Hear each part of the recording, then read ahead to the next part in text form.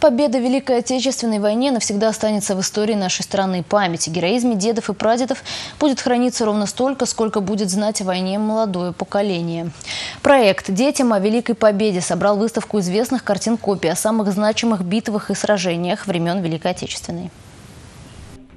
Выставку подготовили в культурно-выставочном центре «Радуга». Специалисты отобрали копии самых ярких живописных работ на военную тему. Здесь и, собственно, военные баталии, и портреты участников крупнейших сражений, и фронтовой быт. Ведь ребятам интересно все, что связано с военными годами. В каждый район уедет каждый комплект с тем, чтобы детишки могли посмотреть, какие картины были написаны, отражающие то время, и понимали дыхание того времени.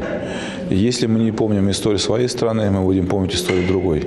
К сожалению, время, когда мы воочию, мы взрослые люди могли воочию потрогать наших отцов, дедов, могли увидеть их шрамы на теле, оно уходит для молодых ребят. И наша задача, чтобы это время жило в них вечно.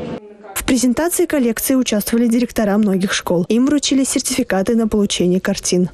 Мы знаем, что э, в нашей школе появится такая компактная картинная галерея, рассказывающая о войне. Рассказывающая о войне. Эту картинную галерею наши ученики и учителя заслужили э, своими делами в прошлом году, когда День Победы мы отмечали 69 раз. Каждой школе в год 70-летия Победы появятся свои выставки с местными материалами. Школьники готовятся к будущим экскурсиям, изучают литературу, районные исторические архивы. Анастасия Лангина, Евгений Анисимов, Республика.